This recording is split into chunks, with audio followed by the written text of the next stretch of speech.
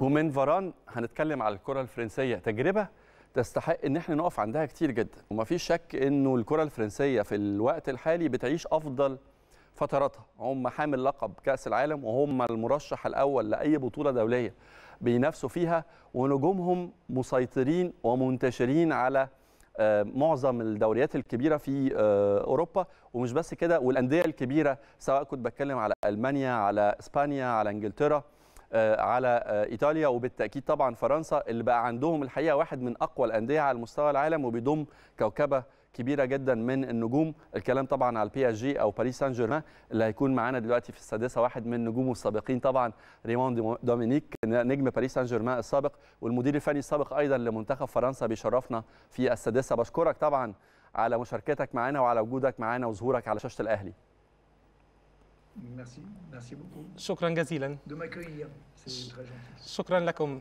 بداية خليني أفتح معاك ملف المنتخب الفرنسي. تقارير كتير رصدت رغبة الاتحاد الفرنسي في طرح أسماء بديلة لخلافة ديدييه ديشان المدير الفني الحالي ل المنتخب الفرنسي منهم على سبيل المثال كريستوف جالتيه منهم طرح كمان اسم نجم الفرنسي زين الدين زيدان. يهمني أسمع رأيك وهل تعتقد أنه ديدييه ديشان آه، سيكون خارج آه، المسؤولية الفنية للمنتخب الفرنسي ولا لا؟ Ah. آه، أنا أنا لست في مكان دي- ديدي ديشان ولكن هي دائما مشكلة الصحافة لأن الفريق الفرنسي يمشي بأ- بأداء جيد ويحقق أداء رائع آه، ويفوز واستطاع الفوز دائما حتى بكأس العالم. ولكن أعتقد أن الناس تطرح هذا السؤال لأن يوجد كأس العالم القادم في قطر. ولكن آه، ممكن آه، بناء على ال على ال على النتائج أن تتغير. ولكن هو دور الميديا والإعلام دائما. ما يطرح هذه الأسئلة ولكن اللاعبين المنتخب الفرنسي مع ديديه ديشامب بيؤدوا أفضل أداء وهو مدرب كبير وأعتقد إنه سينتظر من وجهة نظرك ديشان هو الرجل الأنسب لقيادة المنتخب الفرنسي في آه، المرحلة الحالية وصولا طبعا لبطولة كأس العالم؟ طبعا هو الآن موجود في هذا المكان ولكن ولأنه يسيطر على هذا الفريق فالاختيار له وال وال وال والأداء أيضا نعم ولكن أعتقد أنه هو الرجل الأصح في هذا الوقت الحالي. هو فعلا يستطيع أن ويستحق التواجد في هذا المكان خصوصا في ظل التواجد النتائج التي يحققها مع الفريق. ولكن سنرى طبعا في في كأس العالم في قطر النتائج آه، ولا أعتقد لو وصل للدور قبل النهائي فهذا ممتاز. يعني أنا يمكن في بداية كلامي وأنا بستقبلك آه، في السادسة كنت بتكلم إنه المنتخب الفرنسي بي- بيملك squad squad في منتهى القوة لاعبين متميزين في كل المراكز. هو المرشح الأول لأي لقب. لكن يهمني أعرف رأيك برضو في ظل تراجع آه، آه، عدد كبير من المنتخبات ال- الكبيرة والمرشحة دايما لتحقيق اللقب. تراجع مستوى منتخب البرازيل تراجع مستوى المنتخب الألماني تراجع مستوى المنتخب الإيطالي المهدد بعدم المشاركة. إزاي بتشوف تأثير ده على فرص المنتخب الفرنسي في تحقيق لقب كأس العالم والحفاظ على لقبه اللي حققه في النسخة الأخيرة؟ هل المهمة هتكون سهلة من وجهة نظرك؟ ليست سهلة طبعا. آه، لم تكن أبدا سهلة الحفاظ على لقب آه، فهو شيء صعب لأن يوجد يوجد طبعا فرق على مستوى عالي. يوجد آه، يوجد المنتخب الأسباني والمنتخب الأرجنتيني وهما الفرق قوية جدا ويستطيعون تحقيق الفارق. وأعتقد أن في أوروبا يوجد إنجلترا وبلجيكا بلجيكا آه، قد تكون منافس قوي جدا وقد تحقق الكثير في في كأس العالم. ولكن أعتقد طبعا ان أن قوة المنتخب الفرنسي وال- والسكواد ال- ال- الحالي هو قوي جدا. هو جميع اللاعبين يلعبون في أندية كبيرة ويحققين أداء ممتاز مع فرقهم جميعا. آه، وفعلا برضه في في عام 2006 وفي وفي 2018 الف... كان يوجد عديد من اللاعبين الرائعين كلهم يؤدون أداء رائع مع جميع فرقهم الذين هم الأفضل في أوروبا.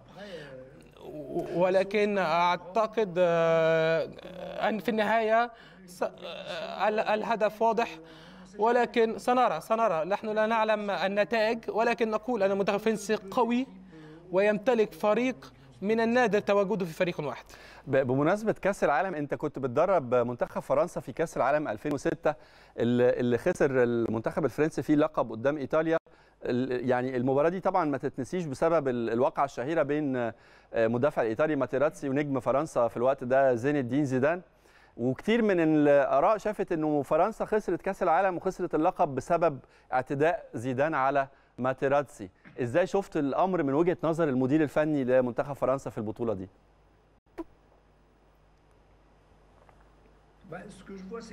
أنا ما أراه آه، أنه آه، آه، أنا أعتقد أن زين الدين زيدان الآن أصبح مدرب كبير. حصل على العديد من الألقاب منهم ثلاثة ألقاب لدوري أبطال أوروبا. ولكن أعتقد أنه نسى وهذه الفترة الصعبة. لا أحد يستطيع أن ينسى ال- الهزيمة آه، لأنها هزيمة في كأس العالم. ولكن آه، ما أراه هو تفوق زيدان ووصوله لهذا المكان. ولكنها في لأن في النهاية كانت مباراة آه، اتصاب أصيب فيها باتريك فييرا. و... وكان يوجد فيها العديد من الأسباب ولكن آه، لم يكن شيئا كبيرا هذا الحدث الذي حدث بين زيدان وماترازي لنا كانت شيئا كبيرا للميديا فقط والإعلام ولكن بالنسبة لنا لم تكن آه، لم تكن شيء كبير. هذا شيء انتهى بالفعل آه، وأعتقد أن هو مر بظروف كثيرة والآن هو في هذه المكانة. وال... انت كنت مدير فني لجيل يمكن يكون من اعظم الاجيال في, في, في تاريخ الكرة الفرنسية. بيضم نجوم كبار جدا على مستوى عالمي يعني آه، زين الدين زيدان آه، روبرت بيريس آه، باتريك فييرا تييري اونري وكلهم أو يعني جزء كبير جدا منهم توجه لعالم التدريب. النهارده عندنا زيدان كمدير فني تييري اونري طبعا اشتغل مع المنتخب البلجيكي باتريك فييرا. مين منهم لفت نظرك ومين منهم تتوقع انه يكون له آه، مستقبل كبير في عالم التدريب خفي J'ai pas, j'ai pas bien compris la question. J'ai pas entendu. آسف آه، ممكن أن تعيد السؤال؟ طيب آه، أنا كنت بكلمك على الجيل اللي أنت توليت مسؤولية تدريبه مع منتخب فرنسا. جزء كبير منهم توجه للتدريب وجزء منهم بقى يعني ليه اسم كبير في عالم التدريب. زين الدين زيدان حقق بطولات مع ريال مدريد تيري اونري مع منتخب بلجيكا باتريك فييرا في الدوري الإنجليزي وغيرهم. مين من وجهة نظرك آه، تعتقد إنه هيكون مدير فني ليه شأن كبير أو يكون يعني يسيب بصمة أو يكون ناجح بشكل كبير وخصوصا مع الكرة الفرنسية؟ آه، هذا صعب جدا أن أقوله لأنها يعتمد على على الظروف. آه، لأن تيري هنري كان كان مدرب لموناكو ولكن لم لم يستطيع الحصول على الأفضل نتائج ثم ذهب إلى كندا ولكن يكن في أفضل حال. باتريك فييرا كان مدربا لنيس آه، أدى موسما رائع. ثم ذهب إلى إنجلترا لم أتذكر لأي نادي أعتقد كريستال بالاس أو نادي آخر لا. والآن هو في إنجلترا وهو مدرب الآن آه، ولكن هي دائما الظروف آه، ما تحكم. ماكيليلي آه، لم لم لم يفوز بشيء كبير ولكن ليست معنى أنك أن تكون لاعبا رائع أن تصبح مدرب كبير أو مدرب ذو جودة عالية. طيب انتقالا لباريس سان جيرمان. خليني أسألك وأعتقد دي علامة استفهام كبيرة بالنسبة لكل جماهير باريس سان جيرمان وليك أنت شخصيا. الفريق من أكتر من موسم بيمتلك كل الأدوات اللي تمكنه من تحقيق لقب دوري الأبطال ومع ذلك لم ينجح في مهمته. يعني في البداية تولى أوناي إمري ثم توماس توخل آه، الألماني ثم بوتشيتينو المدرب المدير الفني الحالي يمتلك يعني منتخب العالم مجموعة من أهم الأسماء في عالم كرة القدم ومع ذلك غير قادر على تحقيق لقب بطولة ال Champions League. إيه اللي ينقص باريس سان جيرمان من وجهة نظر ريمون دومينيك. أعتقد آه، هم هم حصلوا على لاعبين رائعين آه، ولكن ليست ليست على لاعبين فقط آه، رائعين مانشستر سيتي مع جوارديولا صنع استطاعوا الحصول على لاعبين رائعين ولم يستطيع الفوز بدوري أبطال أوروبا. ولكن هي ليست دائما بال- بال- بالمال واللاعبون. ولكن هي تخت... باريس سان جيرمان ليست بأنها جلبت لاعبين على مستوى كبير أن تفوز بدوري أبطال أوروبا. يوجد العديد من الفرق آه، التي فعلت نفس الشيء ولم تحصل. لابد من العمل لابد من الجهد. أعتقد أن باريس سان جيرمان إنهم قريبون قريبون دائما قريبون وفي تطور. على للفوز بدوري أبطال أوروبا. آه، ولكن آه، هم ذهبوا إلى قبل النهائي في في في في في في دوري النهائي وقبل النهائي في دوري أبطال أوروبا. وهو وهو جزء من النجاح هو نجاح. لا- لأن مانشستر سيتي لديهم العديد من المال مثلا ولم يحصلوا عليها ولم يقتربوا منها حتى الآن حتى وإن وصلوا للنهائي ولكن لم يأخذوا البطولة. أعتقد أننا لم لا نجب أن نفعل هذه المقارنة. أعتقد هو الوقت وال وفي لحظة س- سيفوزوا باللقب آه، لأنهم يصلون دائما للنهائي. ف- ففي لحظة مفاجئة سيحصلون على الفوز. وهو فقط الفوز تتوقع ما يصنع الفارق فقط. تتوقع إيه بالنسبة للمواجهة المنتظرة الأسبوع ده اللي هتجمع بين PSG وريال مدريد في البرنابيو؟ طبعا نحن ننتظر بفرح وانتظار. باريس سان جيرمان أدت أداء رائع في الذهاب ولعبت أفضل بكثير من ريال مدريد التي لم تلعب نهائي. لم نعلم لماذا لم نفهم لماذا ريال مدريد أدت بهذا الأداء. ولكن أعتقد أن باريس سان جيرمان هي ما فعلت هذا هي ما دفعتهم لهذا الأداء. ولكن ننتظر طبعا الماتش. آه، ستكون ماتش من حرب و و وأعتقد أن باريس ستحاول بكل الطرق ان أن أن تصل أن تفوز بالمباراة. آه، وفقط حتى باريس إمبابي سيكون عليه الكثير من الجهد والعمل. آه، ولكن آه، ما يحسب هو الماتش القادم يوم الأربعاء. هو الذي سيحسم. لم لم, لم لن يحسم شيء الأداء الذي عدى في الوقت الماضي. سننتظر بكل سرور ولهفة على رؤية هذا اللقاء. ولكن أعتقد أن ريال مدريد لن تكون على مست... نفس الأداء الذي أدته في في اللقاء الذهاب. بمناسبة- ولكن أعتقد أن باريس سان جيرمان يجب دائما أن يحارب ويلعب على مباراة كبيرة و... ويؤدي أداء آه، قوي مثل المباراة الأولى. بمناسبة امبابي في تقارير أكدت إنه آه، كيليان امبابي توصل بالفعل لاتفاق مع إدارة الريال على الانتقال في الموسم القادم أو في الميركاتو الصيفي لمدريد. آه، من وجهة نظرك بتأيد ده ولا بترى إنه من الأفضل بقائه في PSG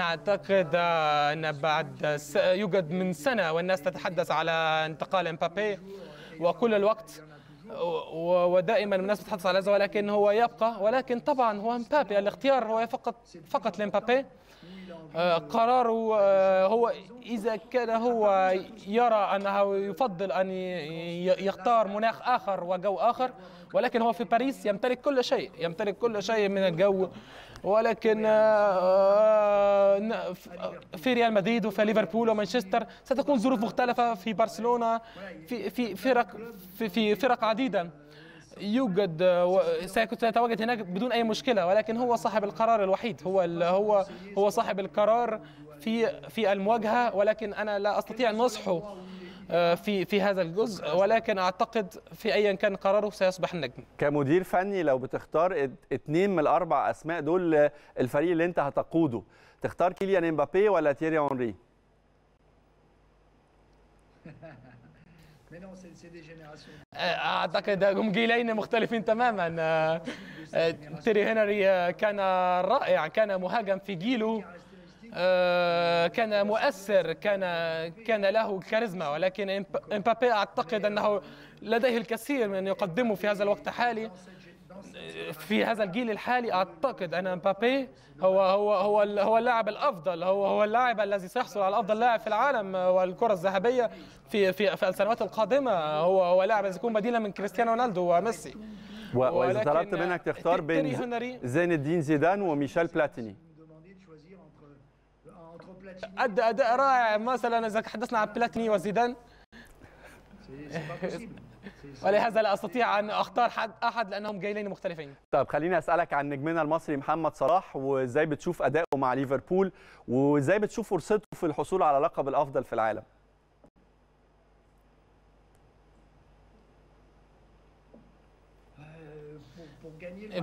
أعتقد للفوز ب- ب- ب- بأفضل لاعب في العالم وبالكرة الذهبية. يجب أن يفوز بدوري أبطال أوروبا.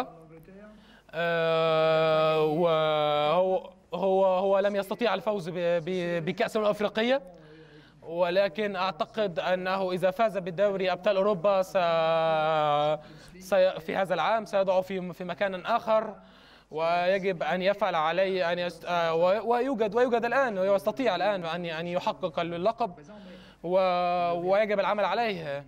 ولكن هو هو هو هو هو يستحق بصراحة من وجهة نظري هو يستحق هو يغ هو يمثل فئة من أفضل اللاعبين في العالم في الوقت الحالي.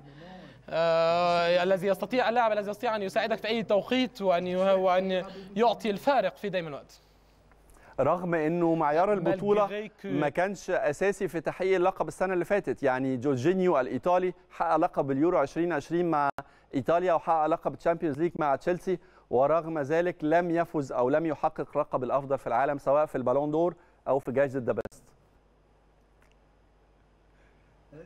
آه نعم آه، هو فعلا فاز بدوري أبطال أوروبا مع تشيلسي وكأس وكأس أوروبا مع إيطاليا. ولكن آه، ولكن آه، بالفعل آه، اختلاف الفوز بالبطولات يجب أن تكون شخص صاحب ظهور صاحب ظهور صاحب ظهور للعالم كله. أن تكون لاعب مؤثر وظهورك واضح في كل ال- الإعلام والأندية مثل ميسي ورونالدو ومبابي ومحمد صلاح. لاعبو ماني لاعبين مثل على هذه الفئة الذين دائما ما يظهرون هم يستطيعون آه، ولكن الكأس العالم الفوز بأفضل لاعب في العالم هو شيء آه، مظهر كبير وحدث كبير. ولهذا أعتقد أعتقد أن الفوز بها لابد من الجمع من البطولات والجمع بين ال- الرؤية. مثل إذا إذا اعتقدت إذا رأيت محمد صلاح أو إمبابي سأختارهم هم. لن أختار جورجينيو. ف ولهذا ولهذا يوجد دائما لاعبون الهجوم. هم هم دائما ما يكونوا في أفضل لاعبين في العالم. لأنهم صاحبون الرؤية وصاحبون ال- الذي يمتلكون الصورة العامة لل- للعالم. ريمون دومينيك. طبعا نجم ال PSG والمدير الفني السابق لمنتخب فرنسا. بشكرك شكرا جزيلا. شرفتنا ونورتنا على شاشة الأهلي وبشكرك على وجودك معنا في السادسة. ومن فرنسا نتحول مع حضراتكم لألمانيا ونتابع المباراة الأخيرة اللي جمعت بين آه، مونشن جلادباخ وبين شتوتجارت الألماني. مباراة كان فيها ريمونتادا عظيمة جدا لشتوتجارت خدوا بال حضراتكم شتوتجارت قبل المباراة دي. الفريق اللي بيلعب له طبعا آه، على سبيل الاعاره نجمنا المصري عمر مرموش كان بيتزيل جدول ترتيب البوندسليجا. مباراة كانت صعبة لأنه الحقيقة آه، مونشن جلادباخ تقدم في بداية المباراة بالهدف الأول زي ما حضراتكم شفتوه آه، وعززه كمان بهدف تاني كرة طبعا through pass أكتر من رائع أو chip pass أكتر من رائعة وبعد كده استمر على يعني الهجوم و assist أكتر من رائع tackling يحط من خلاله مهاجم مونشن جلادباخ الهدف الثاني ل فرقته. توقع الجميع إنه المباراة انتهت وإنه انهيار تام لفرقة شتوتجارت اللي بتتزيل جدول ترتيب البوندسليجا ومن هنا بدأت الريمونتادا بخطأ آه، عنيف لرامي بن سبعيني عمل assist لمهاجم شتوتجارت اللي تمكن من إحراز الهدف الأول لفرقته بتسديدة أكتر من رائعة. واستمر الحقيقة شتوتجارت الهدف ده رفع الحالة المعنوية. محدش بيعمل كده هنا ابدا ابدا ابدا. يعني هو صلح الكورة كما لو كان لاعب من فريق شتوتجارت نفسه واستمر هجوم شتوتجارت في الشوط الثاني من ثرو باس أكتر من رائع من ناحية اليمين. خطأ عنيف برضو من رامي بن سبعيني أدى لدخول الكرة في شباك آه، فرقته آه، هدف ثاني لشتوتجارت تعادل بيه في المباراة. واستمر الحقيقة شتوتجارت حالة ال- الريمونتادا دي بتدي دفعة معنوية دايما لأي فريق وبيتأكد من إنه عنده القدرة على آه، مواصلة المشوار. وقد كان بالفعل الحقيقة في نهاية المباراة كرة عرضية استقبلها مهاجم شتوتجارت آه، وحط الهدف الثالث عشان تتحول النتيجة من 2-0 لمونشن جلادباخ ل 3-2 لصالح شتوتجارت والثلاث نقاط دول أدوا إنه شتوتجارت تقدم في جدول الترتيب ثلاث مراكز عشان يكون في المركز ال 17 بهدفين لنجومه سولي ومولر انتهت المباراة بالتعادل بين طبعا بايرن ميونخ وبين باير ليفركوزن. الهدف الأول لبايرن ميونخ كان هدف التقدم أحرزه المدافع سولي.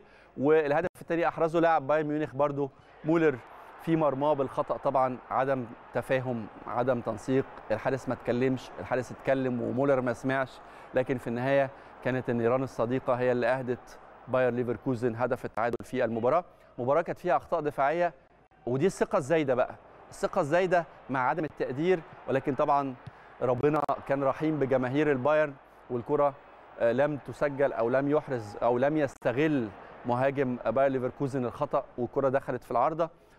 هجمة ثانية الحقيقة يمكن كانت هدف شبه مؤكد لبايرن ميونخ في كرة عرضية أكثر من رائعة وصلت برأسية من ليفاندوفسكي لجنابري طبعا ولكنه حطها في القائم تفهمش هنا ليفاندوفسكي كان بيحاول يحطها ولا بيعمل assist لكن في النهاية الكرة وصلت لجنابري واحد من أفضل الأجنحة على مستوى العالم من وجهة نظري. الكرة دي كانت offside الحقيقة ويمكن عدالة السماء يعني هي ما اتعادتش مرة ثانية وما شفناهاش من زاوية أوضح لكن في النهاية حارس المرمى تمكن من إنقاذها عشان تنتهي المباراة بنتيجة واحد واحد.